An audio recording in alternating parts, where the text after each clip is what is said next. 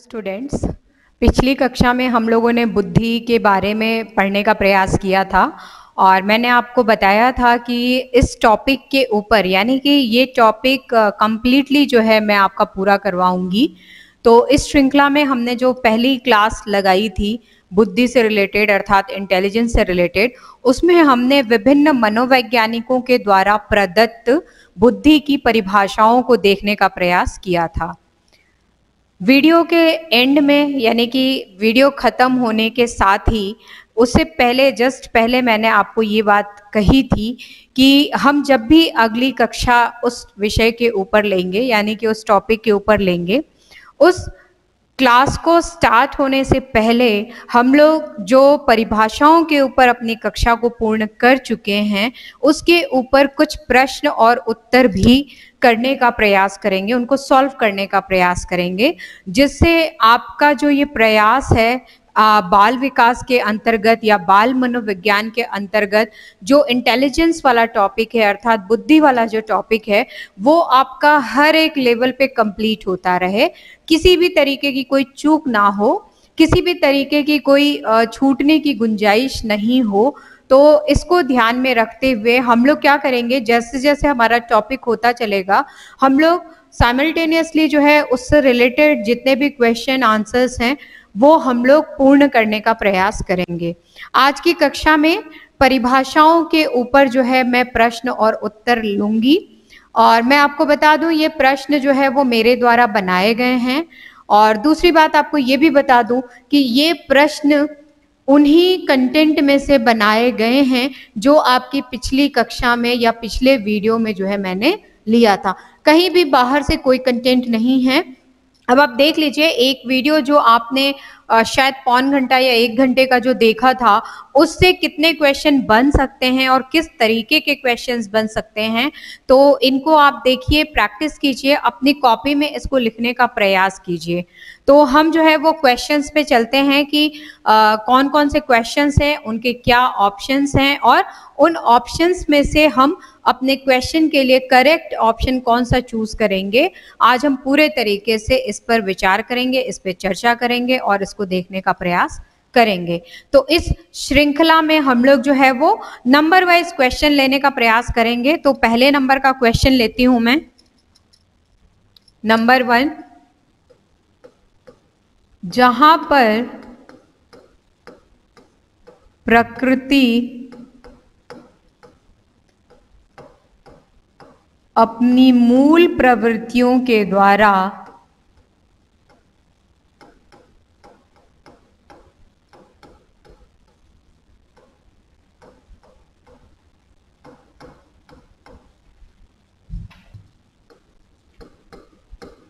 वातावरण की समस्याओं को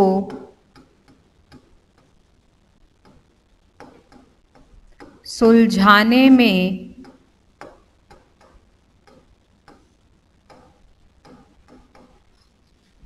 असमर्थ होती है।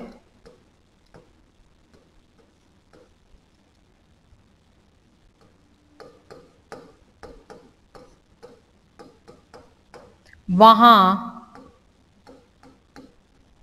डैश डैश डैश का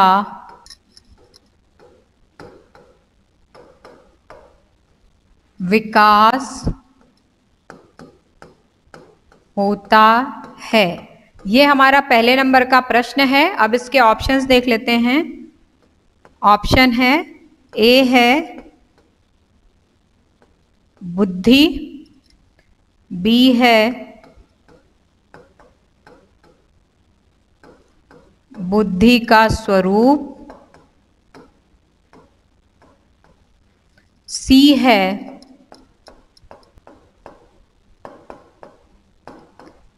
क्रियाशील बुद्धि और डी है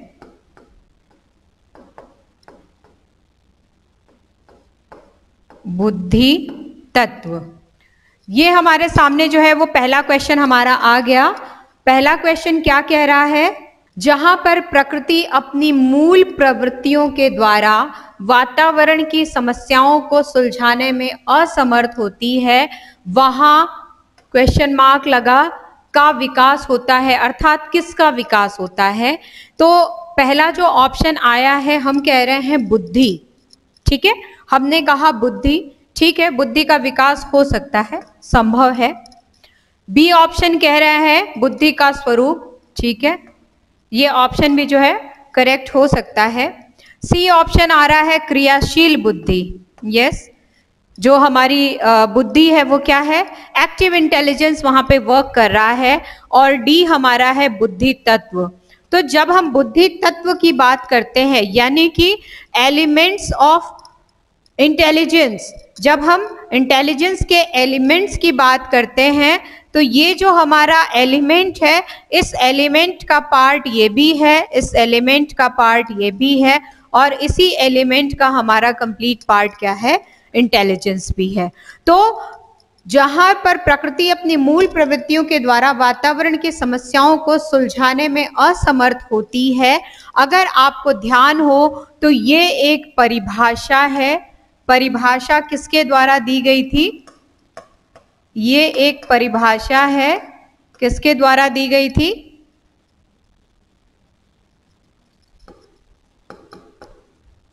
मैकड्यूगल के द्वारा, ठीक है?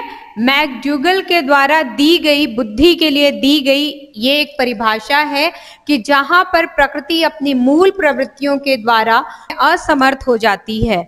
जो उसका कोर है, जो कोर क्रियाकलाप है, यानी कि जो बेसिक कार्यक्रम है, जब वहाँ पे, उस जगह पे प्रकृति जो है, किसी भी एक समस्या को सुलझाने में असमर्थ होती है, यानी कि वो उस समस्या को सुलझा नहीं पाती है वहाँ पे जिस चीज़ का विकास होता है, जिस एलिमेंट का विकास होता है या जिस तत्व का विकास होता है, उसे हम क्या कहते हैं, बुद्धि तत्व के नाम से जानते हैं, जिसका ये सब क्या है, पार्ट है।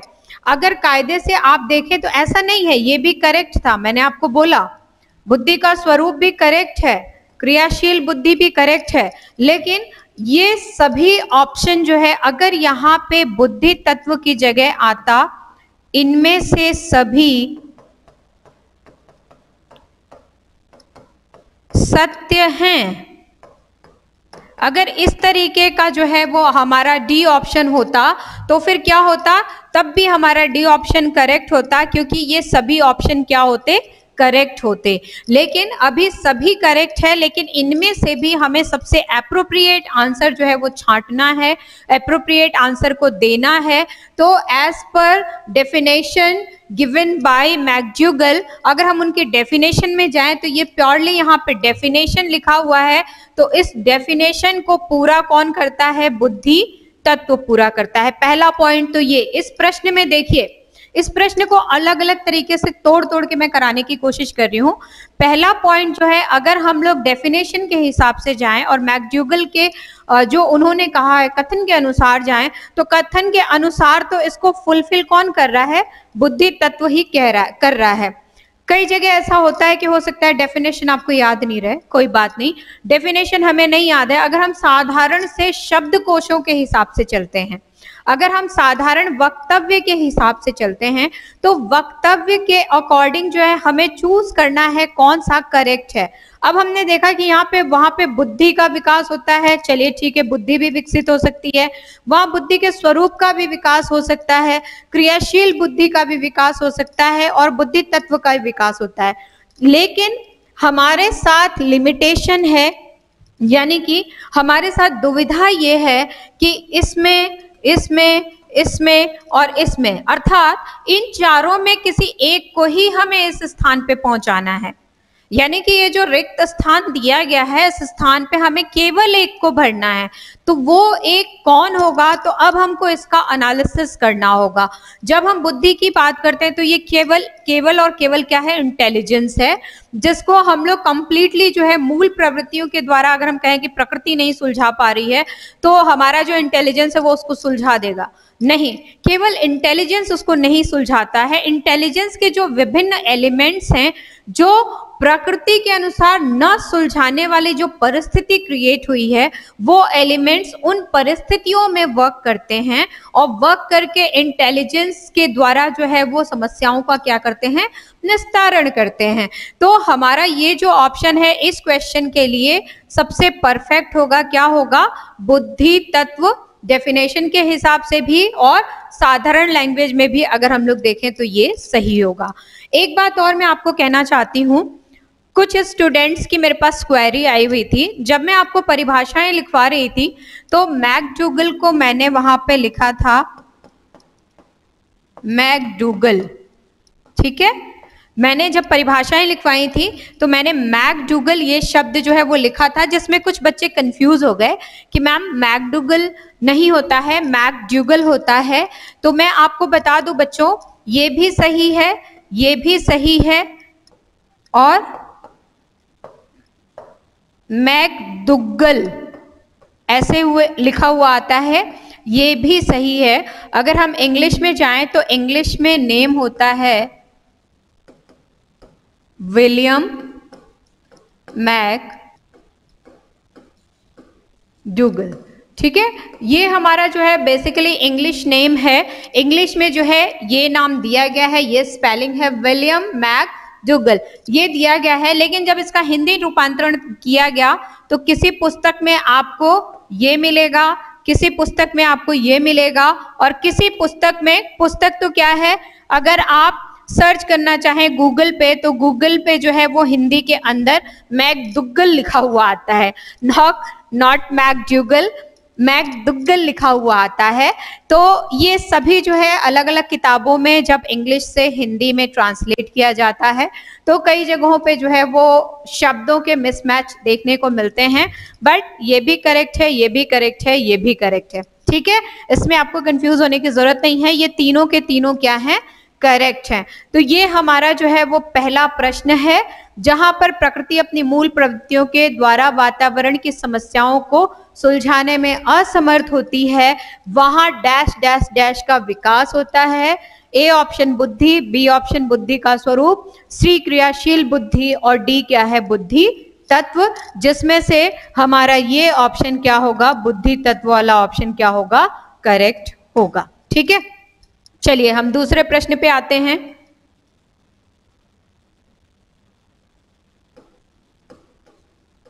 टोडर्ड के अनुसार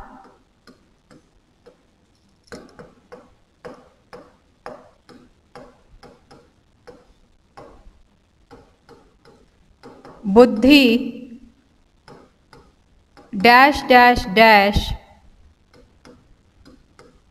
कार्य करने की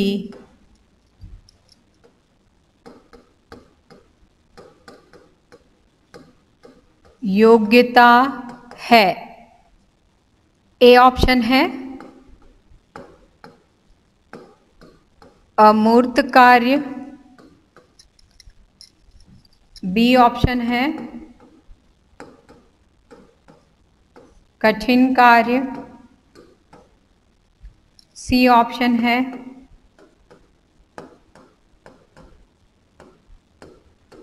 मितव्यतापूर्ण कार्य और डी ऑप्शन है। इनमें से सभी। ठीक है? दूसरा प्रश्न हमारे सामने आया। स्टोडर्ड के अनुसार बुद्धि डैश डैश डैश कार्य करने की योग्यता है। कैसी योग्यता है?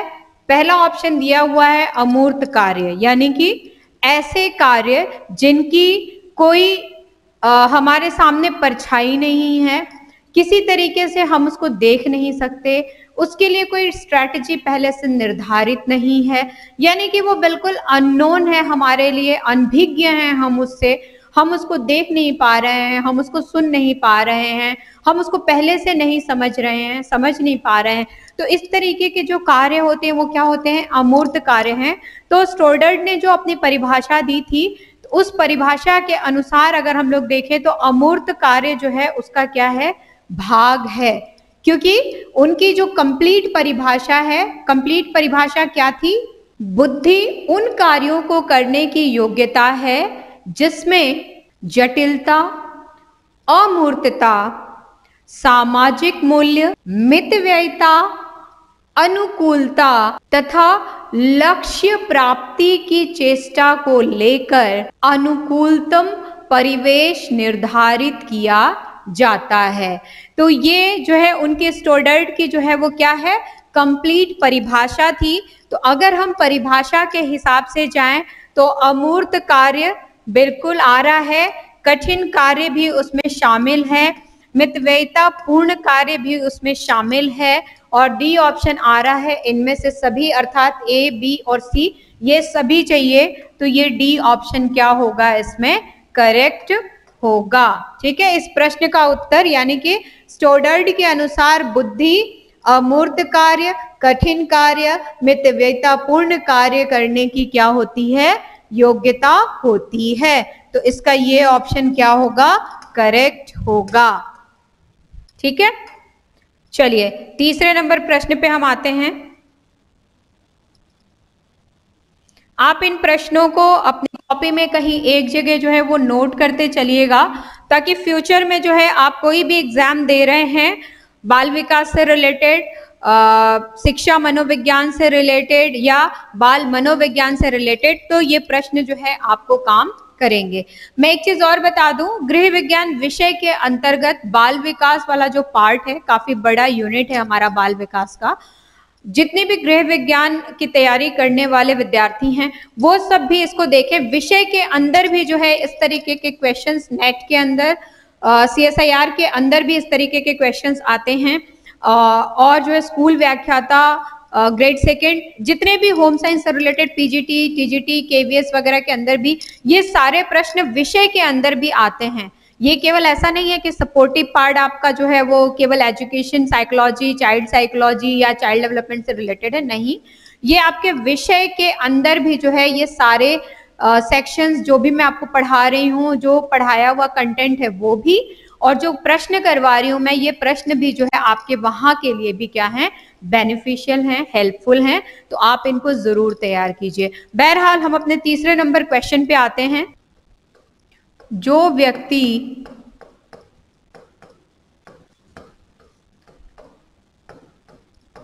जितना अधिक सोच विचार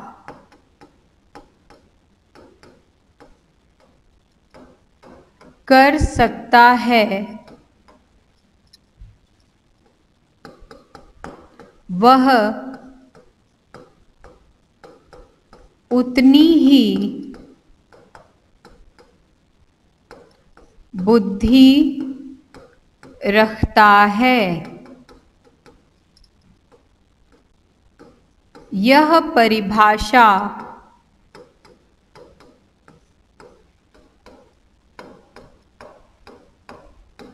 किससे?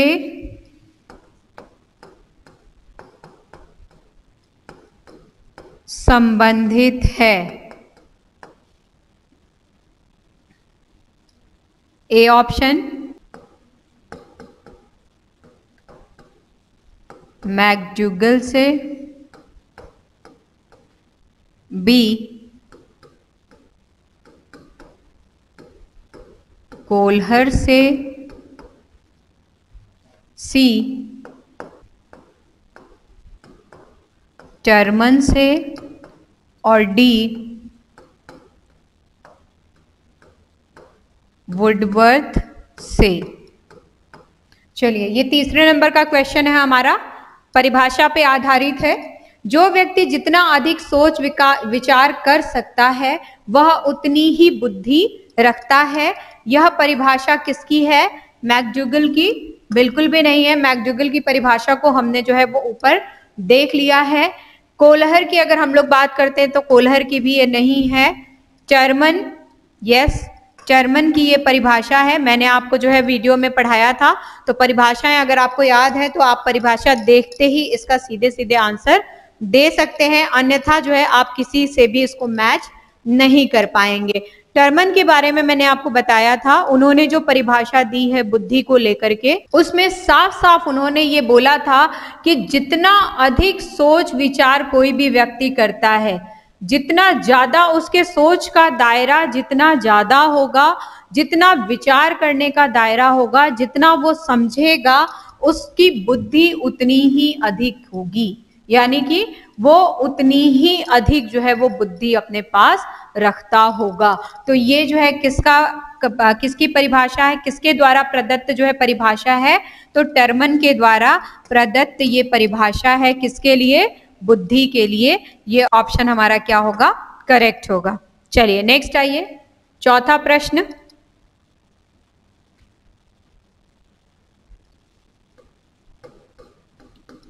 बुद्धि, वह शक्ति है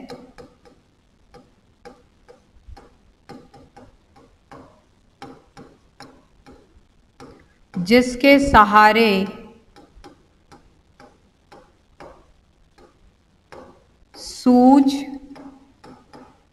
आ जाती है। यह परिभाषा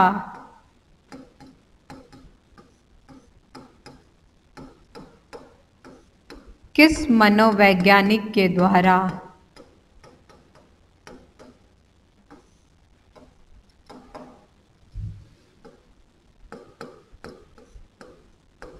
दी गई है।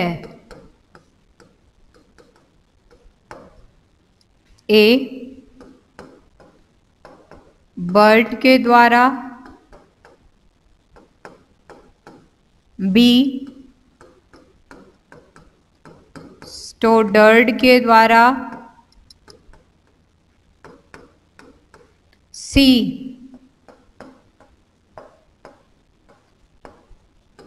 वुडवर्थ के द्वारा और डी इनमें से कोई नहीं। ये हमारा प्रश्न आ गया, चौथा प्रश्न। बिल्कुल यूनिक प्रश्न है। यूनिक क्यों है? अभी मैं आपको सोल्यूशन कराती हूँ तो बता दूँगी कि यूनिक ये किस तरीके से है। बुद्धि वह शक्ति है जिसके सहारे सूझ आ जाती है। बिल्कुल एक लाइन की डेफिनेशन है, एक लाइन की डेफिनेशन दी गई है मनोवैज्ञानिक के द्वारा। तो ये जो परिभाषा है या ये जो डेफिनेशन है, ये किस मनोवैज्ञानिक ने दिया था? हमारे सामने पहला ऑप्शन है बर्ड के द्वारा। तो बर्ड के द्वारा प्रदत्त जो है हमारी परिभाषा क्या थी? बर्ड के अनुसार बुद्धि जो है किसी भी परिवेश में सापेक्ष रूप से नवीनतम परिस्थितियों में अभियोजित होने वाली एक जन्मजात योग्यता होती है। ये किसने कहा था? बर्ट ने कहा था। तो अगर हम लोग इस डेफिनेशन को देखें तो बर्ट जो है यहाँ से हट जाते हैं। अर्थात बर्ड की ये डेफिनेशन नहीं होगी, क्योंकि ऑलरेडी बर्ड की दूसरी डेफिनेशन है जो मैंने आपको अभी बताई। अब हम आते हैं स्टोडर्ड के द्वारा। तो स्टोडर्ड के डेफिनेशन को भी हम लोग देखते हैं और रिकॉल करने की कोशिश करते हैं कि उन्होंने क्या कहा था। स्टोडर्ड ने कहा था कि बुद्धि उन कार्यों को करने की योग्यता होती है। बुद्धि उन कार्यों को करने की योग्यता होती है जिसमें कठिनाई, जटिलता, अमूर्तता, सामाजिक मूल्य मितव्ययता, अनुकूलता तथा लक्ष्य की प्राप्ति की क्या होती है? चेष्टा करने का जो है वो अनुकूलतम परिवेश निर्धारण किया जाता है। तो ये परिभाषा किसके द्वारा थी? स्टोडर्ड के अनुसार। तो अगर हम लोग देखें तो ऊपर वाली परिभाषा इनके अनुसार भी नहीं रही। नेक्स्ट आते हैं, वुडवर्थ के द्वारा ये परिभाषा कही गई है या नहीं? तो वापस आप रिकॉल कीजिए जो मैंने आपको पढ़ाया था और उसमें आप डेफिनेशन में जाइए कि वुडवर्थ के लिए मैंने आपको किस पॉइंट पे बल दिया था, अर्थात किस शब्द पे जो है वो बहुत ज़्यादा हाईलाइटेड हुई थी मैं उस टाइम पे, या किस शब्द को आपने उनसे को रिलेट करके लर्न किया है। यानी कि वुडवर्थ से को रिलेट करके लर्न किया है। तो अगर हम वुडवर्थ की परिभाषा में जाना चाहें तो वुडवर्थ के अनुसार किसी भी कार्य को वुडवर्थ के अनुसार किसी भी कार्य को तीन चीज़ें मैंने आपको बताई थी। अकलमंदी, समझदारी और विवेक से पूर्ण करना क्या कहलाता है? बुद्धि कहलाती है। तो अगर हम लोग देखें तो वुडवर्थ की भी ये परिभाषा नहीं है। तो भाई ये परिभाषा है किसकी? बर्ट की नहीं है स्टोडर्ट की नहीं है और वुडवर्थ की भी नहीं है।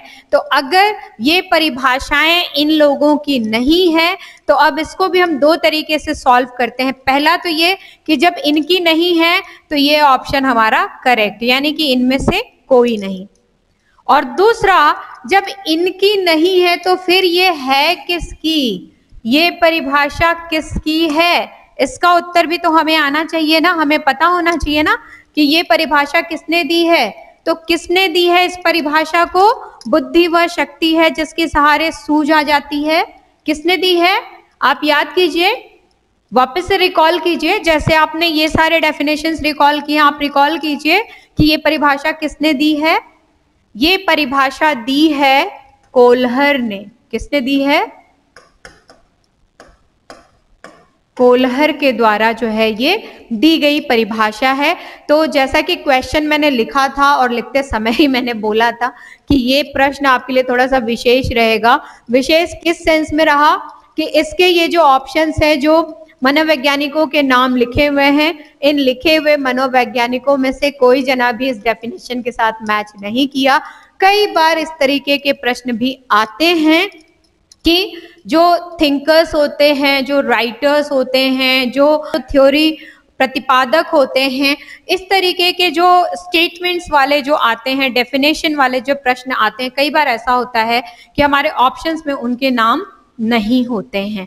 तो नहीं होते हैं तो नहीं है तो भाई ठीक है, इनमें से कोई नहीं। ये ऑप्शन हम लोग चूज़ करेंगे और करेक्ट आंसर हमारा क्या होगा? इनमें से कोई नहीं। ये थोड़ा सा स्पेशल तरीके का प्रश्न था बट होप आप लोग कभी भी इस तरीके के प्रश्न आएँगे तो आप घबराएँगे नहीं, क्योंकि हमें प्रैक्टिस ही करनी है और प्रैक्टिस हमें हर लेवल पे करनी चाहिए। चलिए हम पाँचवें नंबर के प्रश्न पे आते हैं। पाँचवें नंबर का प्रश्न है हमारा वुडवर्थ के अनुसार बुद्धि क्या है? चलो। वुडवर्थ के अनुसार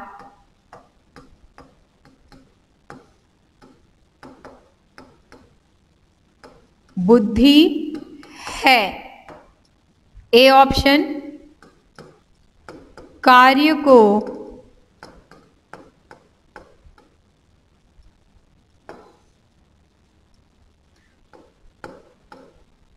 अकलमंदी से करना।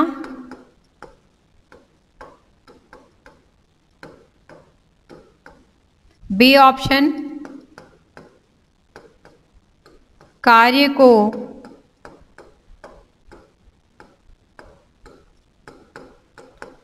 समझदारी से करना। सी ऑप्शन कार्य को विवेक से करना। और डी ऑप्शन उपरोक्त सभी। उपरोक्त सभी। मैं क्यों, मैंने क्यों स्माइल दी? मैं क्यों मुस्कुराई? इस प्रश्न को लिखते साथ ही जो है, मेरे चेहरे पे मुस्कान आ गई। जो लोग इस प्रश्न को समझ रहे होंगे, वो इस प्रश्न को देखते ही या कंप्लीट होते ही उनके भी चेहरे पे स्माइल आ गई होगी। ये जो प्रश्न है, मेरे प्यारे दुलारे बच्चों, इस प्रश्न का उत्तर जो है, इसके पहले वाले प्रश्न में ही मैंने दे दिया था। जब हम वुडवर्थ की डेफिनेशन के बारे में पढ़ रहे थे तो मैंने ये तीनों चीज़ें यहाँ पे जो है वो मेंशन कर दी थी। उसके अनुसार बुद्धि क्या है? अकलमंदी से कार्य, समझदारी से कार्य और विवेक के साथ कार्य। तो वुडवर्थ के अनुसार बुद्धि क्या है? कार्य को अकलमंदी से करना करेक्ट कार्य को समझदारी से करना बिल्कुल करेक्ट कार्य को विवेक से करना अगेन करेक्ट और अगर ये तीनों सही हो रहे हैं तो उपरोक्त सभी जो ऑप्शन आ रहा है, ये क्या होगा? करेक्ट होगा। ठीक है? इस वजह से मैं मुस्कुराई थी। कई बार ऐसे होता है, प्रश्नों के अंदर हमारे, किसी और प्रश्न के अंदर ही हमारे किसी और प्रश्न का उत्तर छुपा हुआ होता है। तो कई बार ऐसे को रिलेट करने वाले क्वेश्चंस मैंने कई परीक्षाओं में देखे हैं। एक ही ऑप्शन अगर आप किसी पर क्लिक कर रहे हैं, उस प्रश्न से रिलेटेड एक दो प्रश्न और कई परीक्षाओं में आए हुए हैं। तो अगर एक का कॉन्सेप्ट हमें सही से पता है, अगर ठीक तरीके से, अब जैसे मैंने ये देखा वुडवर्थ के अनुसार बुद्धि है। अगर हमें इसका आंसर पता था कि ये सारे जो है, वो क्या है, बुद्धि के भाग है वुडवर्थ के अनुसार तो हम तो ऑलरेडी यहाँ पे जो है, वो क्लियर हो गया ना कि सी ऑप्शन तो हमारा होगा ही नहीं। क्योंकि वुडवर्थ के अनुसार जो है वो बुद्धि में अकलमंदी समझदारी और विवेक तीनों का प्रयोग किया गया है। तो ये तो होगा ही नहीं तो एटलीस्ट हम जो वो आ, बोलते हैं ना कि एक ऑप्शन चलो चार में से एक के लिए तो हम श्योर हो गए अब तीन में से हमें लड़ाई लड़नी है। तो तीन में से एक हमारे पास इनमें से कोई नहीं तो ये भी एक साइड में हम रख दें क्योंकि कोई नहीं वाला साइड में गया अब दो में ही हमें लड़ाइयाँ अपनी लड़नी है। तो डो के डेफिनेशन और हम रिकॉल करेंगे तो कहीं ना कहीं हम इसके साथ साथ ये इस क्वेश्चन का आंसर भी जो है बहुत बेहतरीन तरीके से हम लोग क्या कर सकते हैं, दे सकते हैं। तो ये था हमारा पाँचवें नंबर का क्वेश्चन